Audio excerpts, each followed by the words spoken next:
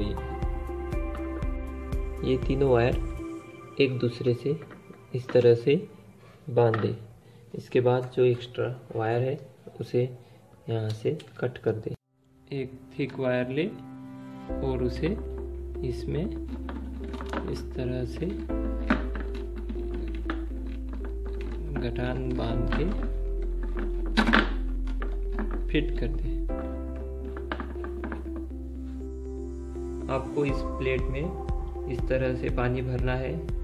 पानी भरने के बाद इस पर आपको वाटर की लेवल नज़र आएँगी। वहाँ पर पेन से इस तरह से मार्क कर दें, ताकि आपको होल कहाँ करना है वो पता चल जाए। बाद में बॉटल निकाल लें और बॉटल पर आपने जहाँ पर वाटर लेवल के लिए मार्क किया है, वहाँ पर कटर की मदद से, ठीक उसके नीचे।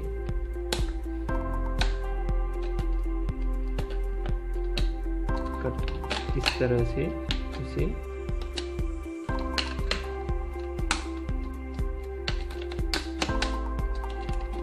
काट ले। काटने के बाद आपको इस तरह से होल नज़र आएगा।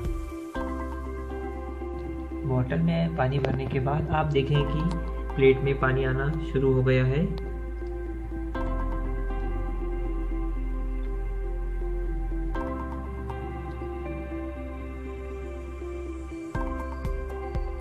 और अब देखिए, अपने आप ही प्लेट में पानी भरने के बाद पानी आना रुक गया है।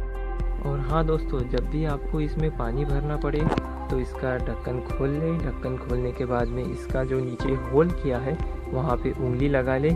उंगली लगाने के बाद उसमें पानी भर दें। पानी भरने के बाद ढक्कन बंद कर दें और उंगली निकाल लें। इस तरह से आप उसमें हमेशा पानी भरते रहें। देखिए दोस्तों, इस तरह से आप अपने पेड़ पौधों पर इसे लगाकर अपने पंछियों की प्यास बुझा सकते हैं और साथ ही उनकी जान भी बचा सकते हैं। तो देखो और सीखो इजी लाइफ आइडिया लाइफ को इजी बनाने के लिए। Please like and subscribe bye